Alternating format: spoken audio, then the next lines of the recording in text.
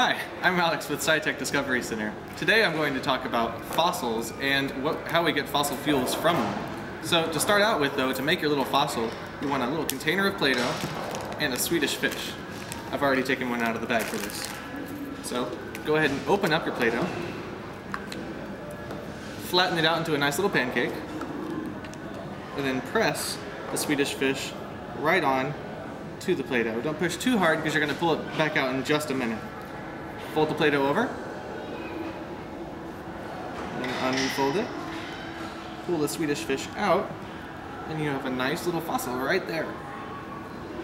Now for the second half, let's get another container of Play-Doh.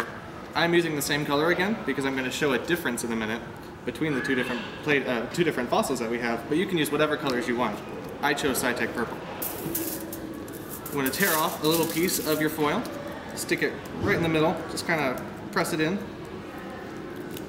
fold over the Play-Doh, unfold it, and it doesn't look like anything, it kind of just looks a little messy.